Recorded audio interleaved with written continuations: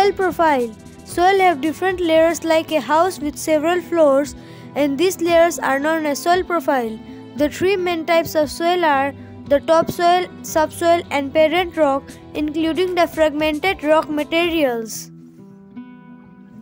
Horizon Topsoil It contains humus and rock particles.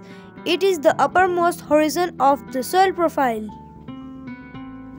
Horizon Subsoil It lies below the topsoil and contains small rock particles, soluble minerals and iron oxides.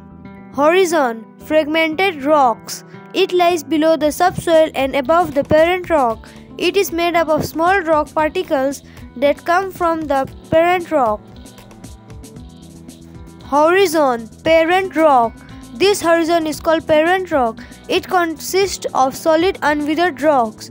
Different types of parent rock and different types of climate produce different types of soil.